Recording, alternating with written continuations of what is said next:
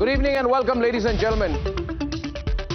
This Monday evening, for more than 24 hours now, there have been raging reports that Dawood Ibrahim has been poisoned in Karachi. There have been Pakistani journalists, Pakistani media saying that Dawood was poisoned and then he had to be taken to a Karachi hospital. There have also been reports that the entire floor of the Karachi hospital has been cordoned off to protect Dawood Ibrahim. Our sources are making the claim that Dawood is being guarded by top ISI and Pakistani army personnel. After all, Dawood is Pakistan's worst kept secret.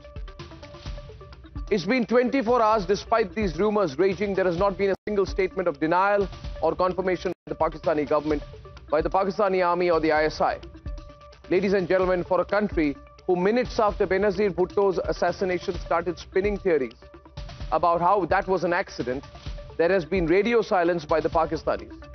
But then, but then, what else can Islamabad do?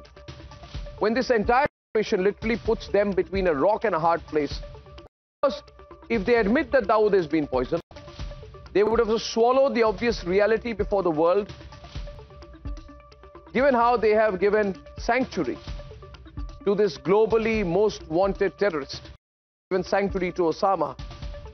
A denial would affirm exactly the same thing. So Pakistan is in a soup, but this entire panic mode, this posing attempt has thrust Pakistan into from internet shutdowns to social media clampdowns to gagging journalists. They've gone crazy over the last 24 hours, the Pakistanis.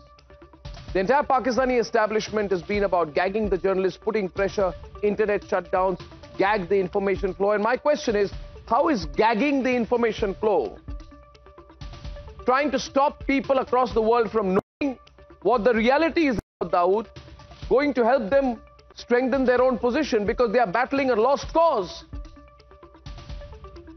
Because of their venom, because of their short-sightedness. The greatest, the greatest achievement of Pakistan, ladies and gentlemen, the way it looks at itself, for Pakistan, its greatest achievement is A, giving sanctuary to Osama, B, giving sanctuary to Dawood. There's a matter of time before we go in. And as they say in Hindi, mein ghus kar marna. It's a matter of time, ladies and gentlemen. Like they couldn't save Osama, they tried so hard. They put him up in a fortress. They put him right next to their Pakistani army base to make sure he was protected. But could they protect him? No.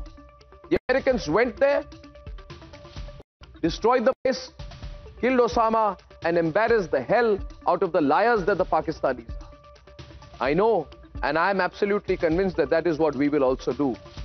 But today, 24 hours after the Pakistanis themselves spread the news, Islamabad better tell the world whether Dawood Ibrahim, the terrorist with the blood of 250 people in the 1993 blast, is dead or alive. Ladies and gentlemen, we have a big story starting with because according to reports, India's most wanted has been poisoned, hospitalized, say. Some say are saying he's struggling for his life. Some say he was dying anyway. Some say the end has become quicker. It's craziness, ladies and gentlemen. The Dawood, the Dawood dead or alive debate. That's in a few minutes. Debate number two this evening. Kejriwal, 21st of December, as another fresh date with the Enforcement Directorate. Liquorgate, last time he didn't go saying, I'm too busy with the elections. I think this time he'll be forced to go. We'll see what happens then. And debate number three, 92 members of parliament suspended. As a shutdown over parliament attack continues, that big political debate at 10.30 p.m. And here are the headlines. Here are the